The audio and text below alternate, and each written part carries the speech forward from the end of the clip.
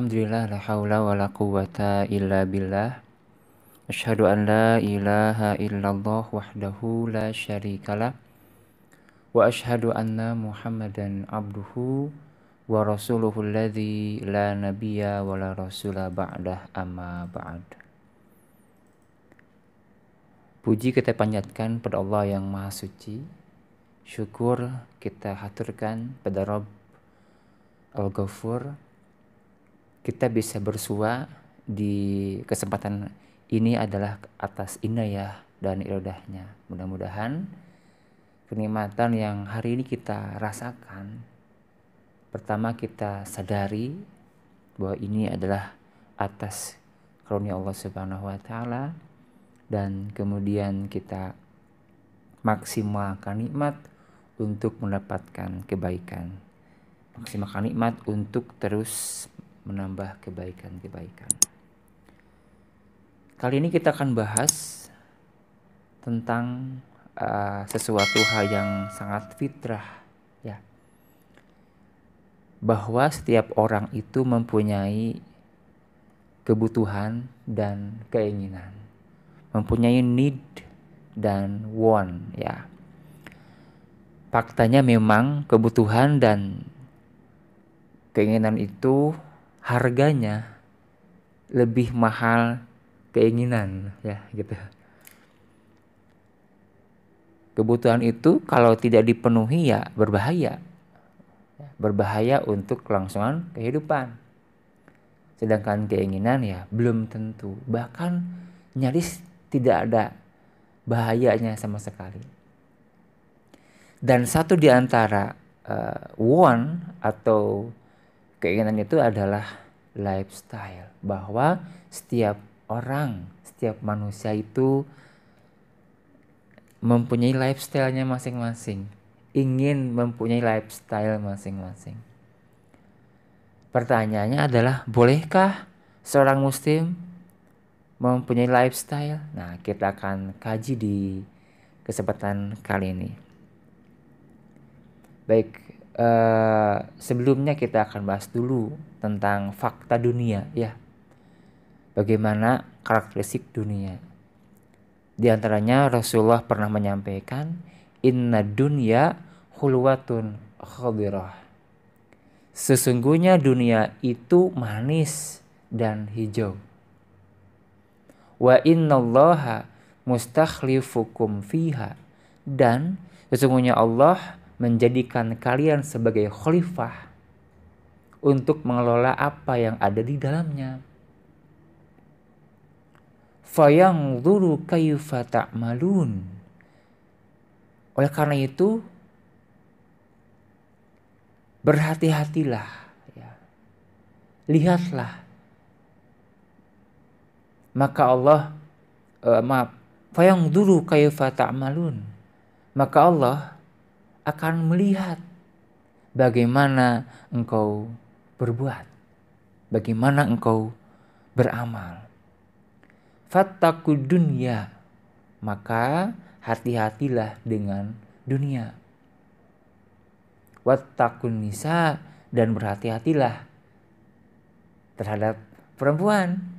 Fa inna awla fitnati bani Israila kanat fin nisa. Sesungguhnya awal kehancuran, awal fitnah Bani Israel itu adalah wanita. Hadis riwayat Muslim. Bahwa Rasul menyatakan dunia itu manis dan hijau. Itu merupakan sebuah simbol bahwa yang namanya manis itu banyak diminati oleh para semut. Di mana ada gula, di situ ada semut gitu ya. Ini simbol bahwa dunia itu sangat diminati oleh semua orang. Tidak ada orang yang tidak suka dunia. Semuanya suka dunia. Ya.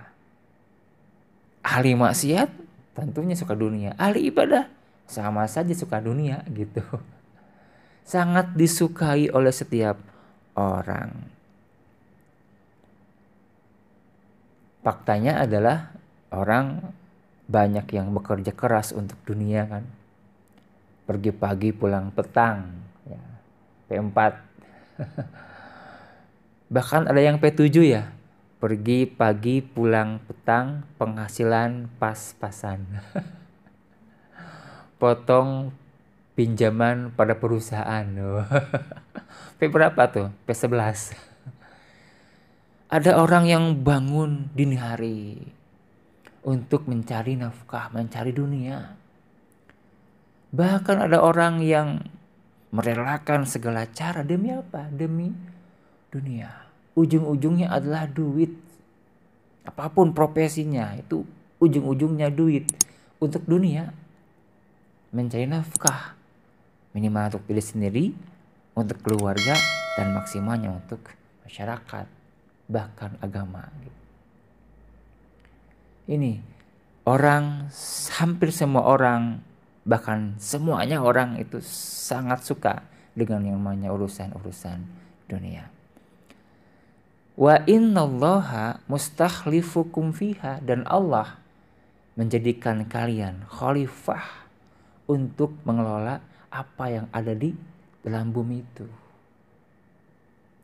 Maka kita harus benar-benar dalam mengelola, mengeksploitasi ya dunia, mengeksploitasi uh, apa yang ada di dunia ini dengan sebaik-baiknya sesuai dengan amanah yang menciptakan.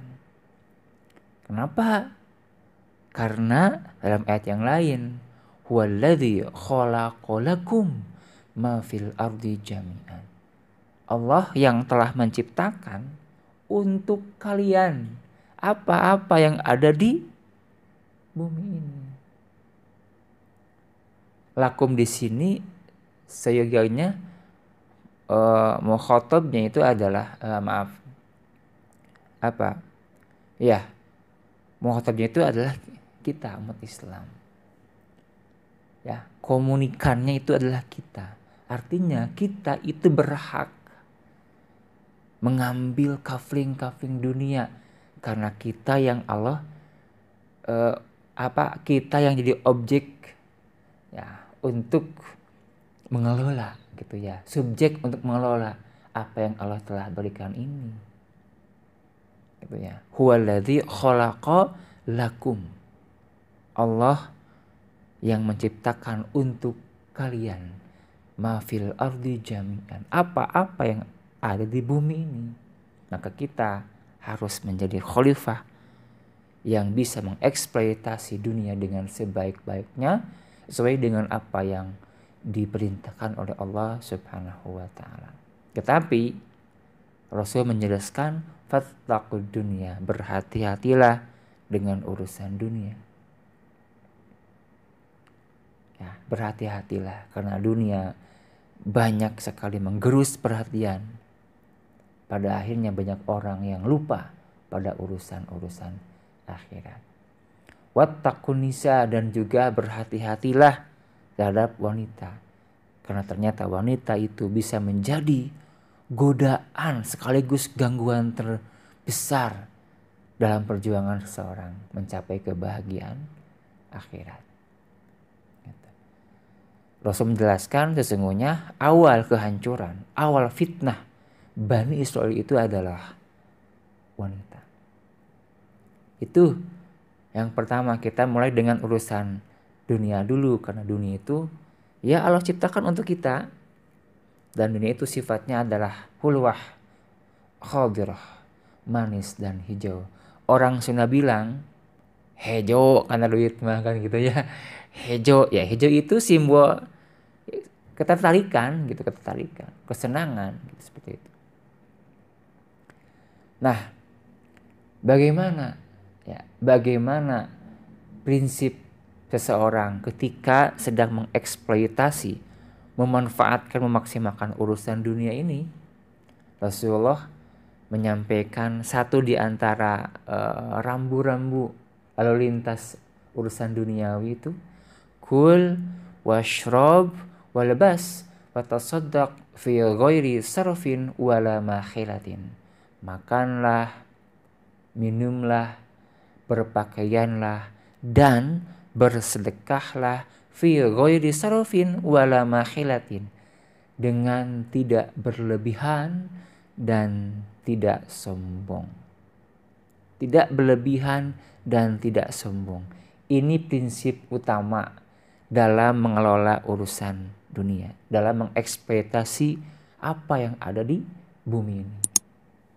Jangan berlebihan dan jangan sombong. Sesuatu yang berlebihan itu tentunya akan merusak, akan menghancurkan, tidak baik. Jangan uh, hal-hal yang besar, hal kecil saja. Makan, kalau berlebihan bagaimana? Nah, kan? Pasti nggak enak. Suapan pertama mungkin itu terasa nikmat yang luar biasa. Suapan kedua masih terasa nikmat yang luar biasa. Suapan ketiga masih nikmat. Keempat, lima, enam mungkin masih nikmat. Tapi selanjutnya kenikmatan setiap apa yang kita makan itu terus berkurang, berkurang, berkurang. Itulah dunia. Semakin dinikmati, semakin berkurang kenikmatannya. Itu dunia. Setelah selesai, setelah kenyang, tambah lagi tuh. Spring lagi, makan lagi, tambah lagi. Kira-kira semakin nambah menu, semakin nambah nasi, nikmat nggak? Enggak. Yang ada adalah merusak. Ya. Tidak nyaman perut, sakit perut saat itu juga dan pada akhirnya ya akan ada terjadi kerusakan di lambung kita. Nggak baik kalau makan berlebihan. Tidur pun demikian kan? Tidur itu ya 6 sampai 8 jam lah. Gitu. kalau berlebihan tidurnya enak nggak? Nggak akan enak. Nggak akan nyaman gitu ya. Yang ada adalah malah jadi pusing kepala gitu ya. Bukan masalah bukan malah nikmat dan segar bugar malah lebih pusing gitu. Kalau berlebihan apa pun itu kalau berlebihan ya bahaya. Termasuk ibadah pun demikian kan?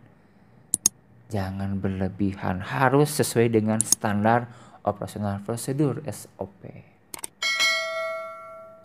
ada orang yang ingin sholat semalam suntuk nggak tidur tidur ingin menyayangi ibadah Rasulullah gitu kan. Ada orang yang ingin saum sepanjang hari. Ya. Saum setiap hari. Ingin menyayangi ibadah saumnya Rasulullah. Ada orang yang tidak mau nikah dengan perempuan karena ingin fokus ibadah pada Allah. Semangatnya sih bagus kan? Ya, semangatnya bagus, semangat beribadah itu spiritnya.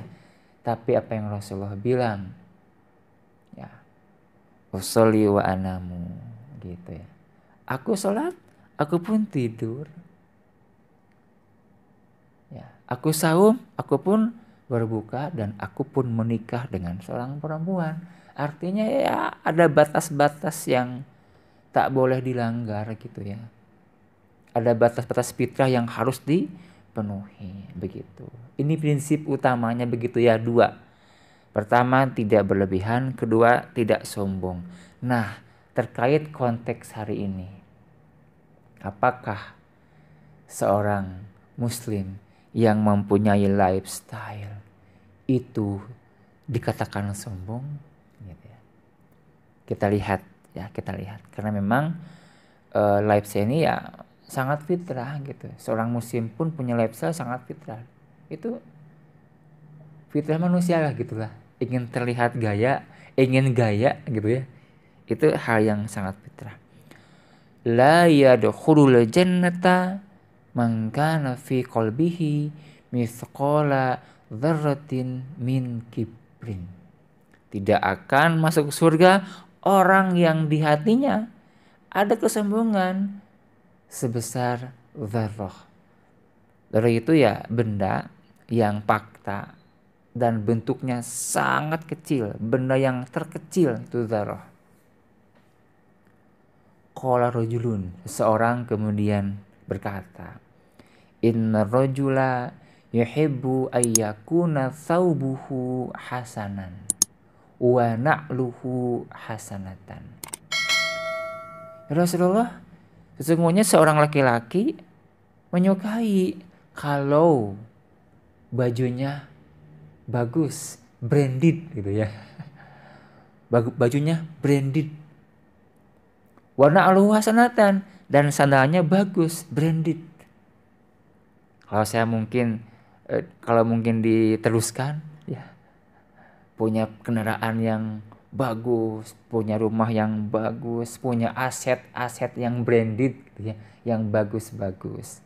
Kola Rasul kemudian bersabda, "Innallaha jamilun yuhibbul jamal." Sesungguhnya Allah itu maha indah dan mencintai keindahan. Al-kibru batrul haq wa ghamtun nas. Yang dimaksud sombong itu adalah menolak kebenaran, menolak yang hak dan merendahkan orang lain, meremehkan orang lain. Ya, ada tiga poin dalam hadis ini. Pertama adalah faktor orang tidak masuk surga kesombongan. Dan kesombongan itu letaknya di hati.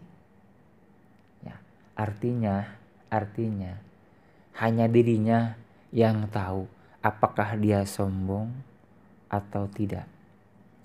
Hanya dia dan Allah yang tahu apakah dia sedang sombong atau tidak. Ya. Orang lain mungkin mungkin hanya melihat dari penampilan fisik saja dan itu belum tentu. Apakah sombong atau tidaknya belum tentu. Gitu ya. Tapi yang pasti ketika seseorang berbuat sombong dirinya dan Allah yang karena di hati. Maka maka kalau orang sudah sombong itu adalah ciri ya. Itu adalah e, jalan seseorang akan tersesat ke surga. Artinya tidak akan ke surga. Nah, karena itu berhati-hatilah dengan sikap ini. Tinggalkan, hilangkan kesombongan. Itu bahaya buat diri kita. Karena memang tidak ada yang pantaslah sombong ya. Di atas langit masih ada langit gitu ya. Mendingan kita melihatnya ke bawah. Untuk apa? Untuk bertawadu. Untuk mensyukuri apa yang saat ini kita miliki. Ya, sangat tidak pantas seseorang itu berbuat sombong. Itu yang pertama. Yang kedua adalah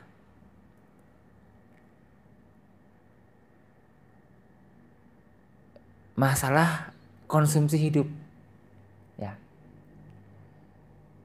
Ketika seseorang menyenangi sesuatu yang bagus-bagus. Ya, pakaiannya bagus, sandalnya bagus. Kendaraannya bagus, rumahnya bagus. Maka itu oleh Rasulullah tidak dijadikan standar kesombongan. Kalian ingat tadi di awal, sombong itu di hati. Fikol di hatinya di hatinya, bukan di pakaiannya, bukan di sandalnya, bukan di mobilnya, motornya, rumahnya, bukan. Tapi fi qalbihi di hatinya. Gitu ya. Karena boleh jadi orang yang pakaiannya biasa-biasa, tapi dia sombong. Ya. Ilmunya biasa, tapi dia sombong. Ada begitu? Mungkin ada, sangat mungkin ada. Gitu. Nah, maka Rasulullah kemudian menjawab konfirmasi sahabat. Rasulullah, "Inna rajula yuhibbu ayyakuna thawbuhu hasanan wa na'luhu hasanatan." Rasulullah, seseorang sangat menyukai pakaiannya bagus, sandalnya bagus. Rasul kemudian memberikan sebuah uh, statement, "Innallaha jamilun yuhibbul jamal. Sesungguhnya Allah itu maha indah dan mencintai keindahan. Artinya apa? Artinya sangat dibolehkan seorang muslim mempunyai ya sesuatu yang bagus. Konsumsi hidup yang branded yang berkualitas itu sangat-sangat dibolehkan oleh Rasulullah SAW. Bahkan ketika seseorang memakai pakaian yang bagus, yang keren, itu bisa dikatakan sedang meneladani tanda kutip ya. Sifat Allah, jamilun, maha indah. Kita ingin menampakkan keindahan dan faktanya Allah mencintai keindahan. Ya. Allah cinta pada keindahan. Maka silakan saja gitu ya. Kalau Anda terutama seorang akhwat nih beli produk gamis harganya jutaan ya 4 jutaan lebih bahkan gitu. Kerudungnya bisa sampai ke harga 2 juta gitu ya. Tas tangannya itu bisa sampai ke harga 50 juta gitu ya. Dan sebagainya bahkan bahkan gitu ya. Satu set yang sedang dipakai itu angkanya bisa mencapai 50 jutaan. Ya paling tidak mungkin 10 jutaan lah. Boleh nggak begitu? Boleh nggak begitu? Kalau lihat hadis ini itu dibolehkan. Rasul itu menyampaikan sebuah khobar. Ya. Khobar sebagai tanda boleh. Khobar sebagai tanda tidak apa-apa. Bahkan bisa dipahami ini khobar ya bimakna insya'iyah. Khobar, kabar, berita tapi maknanya perintah. Artinya orang Islam itu harus indah. Ya, harus terlihat keren, berwibawa gitu ya. Begitu. Jangan terlihat kere, harus kece. Begitu. Oke. Gitu ya kawan-kawan. Nah, muncul nanti. Bagaimana orang yang kemudian memaksakan diri untuk terlihat indah gitu ya. Untuk nah tampil brand branded branded gitu ya. Boleh nggak? Ingat nah, yang namanya lifestyle itu harus sesuai dengan kemampuan ya kalau mampunya di grade A silakan kalau mampunya di grade D silakan pada prinsipnya adalah keindahannya itu yang ditampakkan. Boleh jadi orang misalnya hanya bisa belanja dengan misalnya eh, harga yang di bawah rata-rata gitu ya. Tapi kenampakannya itu sangat indah. Bisa nggak? Bisa. Pakaian ada yang murah tapi indah. Benar nggak? Sandal pun demikian, ada yang harganya murah tapi keren dilihatnya. Gitu.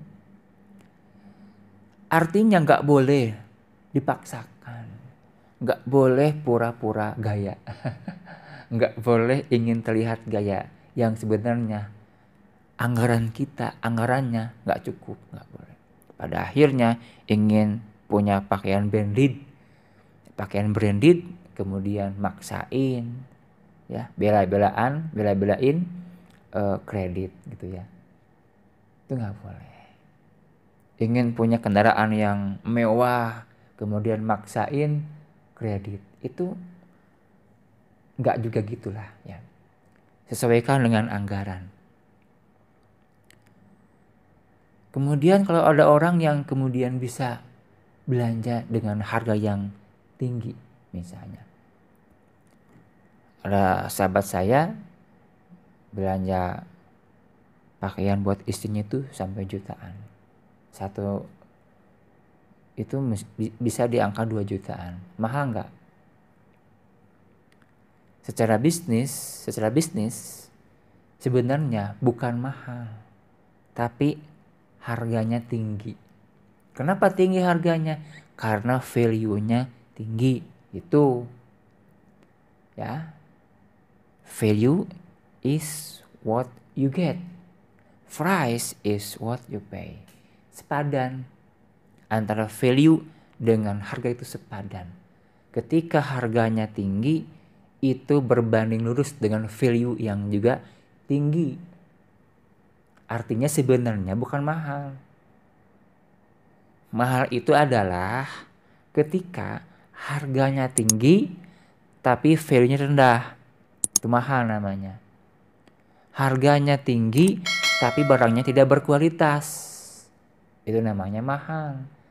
Kalau harganya tinggi, barangnya berkualitas, value value-nya juga tinggi, itu bukan mahal.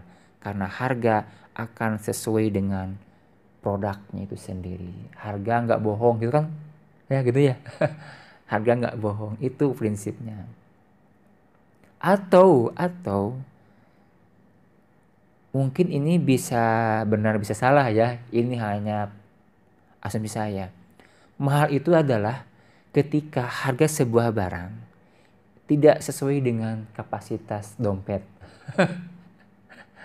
ya, harga sebuah produk itu tidak sebanding dengan kemampuan diri kita. Itu mahal. Bagi orang yang punya penghasilan per harinya 10 juta ya, per hari loh. Ya. Beli handphone, smartphone yang harganya 5 juta itu biasa-biasa. Beli iPhone itu biasa-biasa. Karena mungkin punya. Beli iPhone cukup kerja sehari. Selesai kan. Tapi bagi orang yang penghasilan per bulannya 2 juta atau 4 juta beli iPhone mungkin kemahalan. Kemahalan kan.